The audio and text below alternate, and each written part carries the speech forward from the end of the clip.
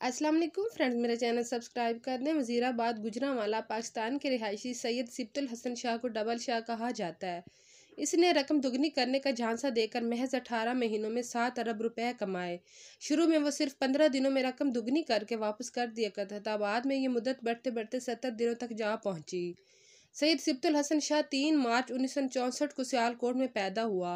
इसका ताल्लुक निचले दरमियाने तबके से था। बीएससी और बी एड की डिग्री हासिल करने के बाद वो 2005 तक गवर्नमेंट हाई स्कूल निज़ामाबाद में साइंस का मुअल्लम रहा। फिर वो छुट्टी लेकर दुबई गया। छः माह तक दुबई रहा। छः माह बाद वज़ीराबाद वापस आ गया। यहाँ इसने एक अजीब काम शुरू किया। इसने हमसायों से रकम मांगी और ये रकम पंद्रह दिन में दुगनी करके वापस कर दी। एक हमसाया इसका पहला गाहक बना। ये हमसाया जावेद मार्बल के नाम से मार्बल का कारोबार करता था। हमसाय ने रकम दी और ठीक पंद्रह दिन बाद दुगनी रकम वापस ले ली।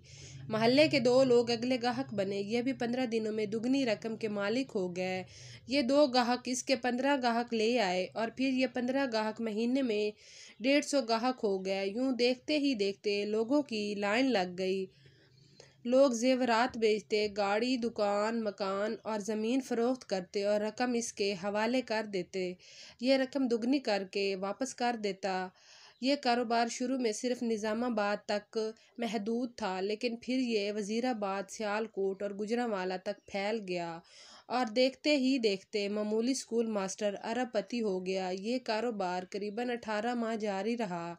इस शख्स ने इन अठारह महीनों में तैंतालीस हज़ार लोगों से सात अरब रुपए जमा कर लिए।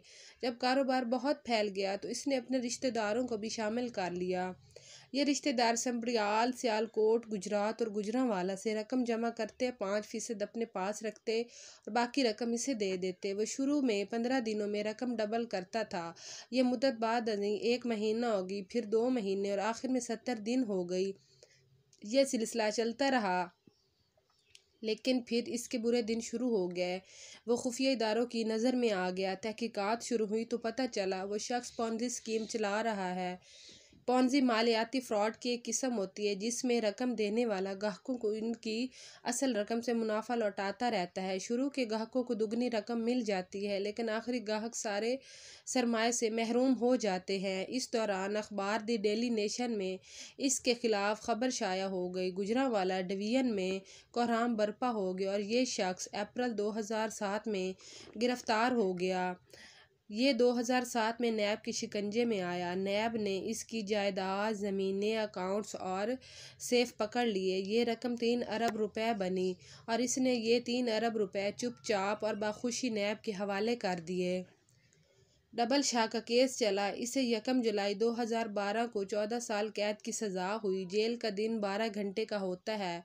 चनाचा, डबल शाह ने 14 साल अमलन सात साल थे। अदालत, पुलिस, हरासत, हवालात और मुकदमे के दौरान गिरफ्तारी को भी सज़ा समझी जाती है। डबल शाह तेरह अप्रैल 2007 को गिरफ़्तार हुआ था। वो अदालत के फैसले तक पाँच साल कैद काट चुका था। लिहाजा ये पाँच साल भी उसकी मजबूरी सज़ा से नफ़ी हो गए। पीछे रह गए दो साल। डबल शाह ने महसूस किया, चार अरब रुपए के इवज़। दो साल कैद, महँगा सौदा नहीं, चनाचा इसने पली बारगीन के बजाय सज़ा कबूल कर ली।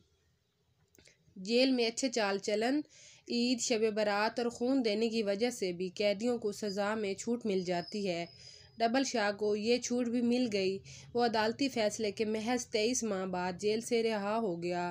डबल शाह पंद्रह मई 2014 को कोट लखपत जेल से रिहा हुआ तो साथियों ने गेट पर इसका इस्तकबाल किया। ये लोग इसे जलूस की शक्ल में वज़ीराबाद ले आए। वज़ीराबाद में डबल शाह की आमद पर आतिशबाजी का मुजाहरा हुआ। पाकिस्तानी तरीक के सबसे बड़े फराडिये को हार पहनाए गए। उस पर फूलों की मनोपतियाँ बरसाई गईं और इसे मस्जिदों के लाउड स्पीकर्स के ज़रिए मुबारकबाद पेश की गई। वो हर लिहाज से कामयाब साबित हुआ।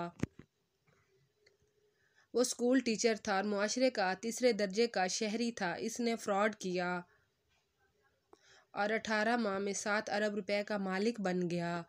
नैब ने इसे गिरफ़्तार कर लिया। वो गिरफ़्तार हो गया। नैब एड़ी चोटी का ज़ोर लगाने के बावजूद इससे चार अरब रुपए नहीं निकलवा सका।